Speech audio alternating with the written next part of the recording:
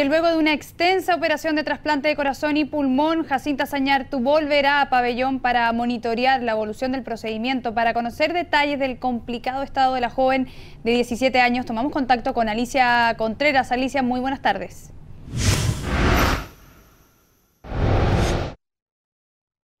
Buenas tardes, Bárbara. Más de 24 horas duró la intervención para Jacinta Sañartu, esta adolescente de 17 años que era prioridad nacional hasta ayer para recibir un trasplante tanto de corazón como de pulmón. Este sábado, Jacinta Sañartu ingresó a Pabellón a eso de las 5 de la tarde en una operación que se sabía que iba a ser bastante compleja. Sin embargo, estaba presupuestado que durara solo 10 horas. De todas formas, esta operación se alargó y la madrugada de este domingo recién Jacinta eh, Sañartu salió de pabellón. ¿Cuál es el estado actual de Jacinta? Bueno, según los médicos es una situación bastante inestable en horas que son claves para su recuperación, pues aún no se sabe eh, si este trasplante, este doble trasplante eh, de corazón y de pulmón fue exitoso o no. Y aún faltan 48 horas para tener una primera certeza de si esto funcionó o no.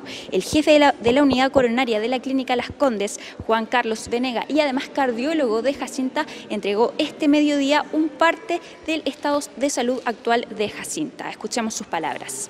Estamos viviendo una situación eh, altamente compleja e inestable, dada por eh, eventos que eh, evidentemente son secundarios a una cirugía de esta magnitud y de esta complejidad el cual es sangramiento activo, dado fundamentalmente por alteraciones de la coagulación que son esperables en este, en este caso.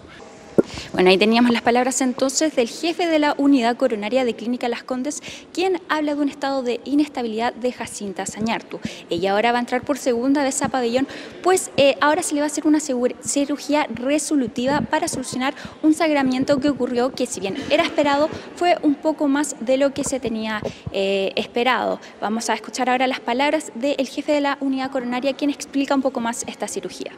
Jacinta, eh, eh, planificamos que una vez que tenemos todos los eh, sistemas de coagulación normalizados, va ahora a pabellón para una segunda exploración que estaba absolutamente puesta en el itinerario eh, e informada a la familia. Así que en este minuto Jacinta va a ir a pabellón una vez que está estabilizados sus factores de coagulación para una revisión desde el punto de vista local y eh, ayudar en el control de estas hemorragias.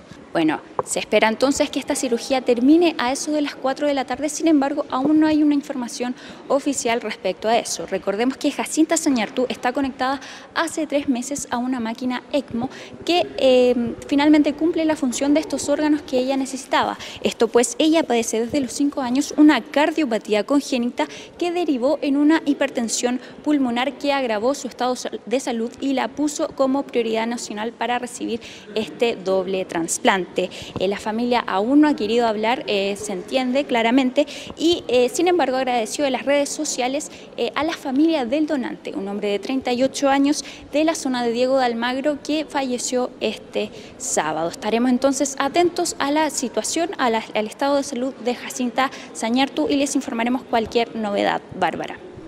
Sin duda, Alicia, muchas gracias por tu reporte.